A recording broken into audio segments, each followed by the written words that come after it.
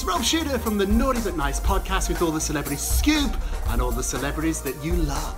Scandal and vice, or sugar and spice.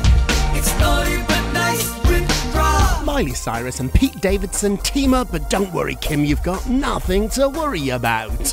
Miley Cyrus and Pete Davidson are teaming up to host Miley's New Year's Eve party, hosted by Miley and Pete for NBC.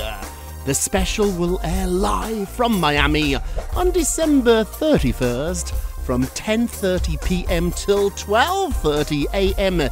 Eastern Standard Time. Saturday Night Live creator and executive producer Lorne Michaels will serve as executive producer for the broadcast, which will feature a star-studded lineup of guests and musical performances according to the press release.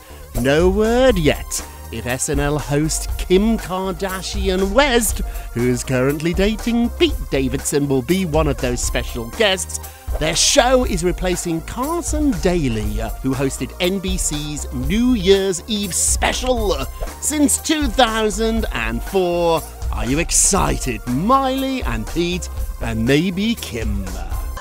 It's naughty but nice with Rob. If you love this gossip, I've got even more juice for you. Check out my podcast, Naughty But Nice with Rob, on the iHeartRadio app.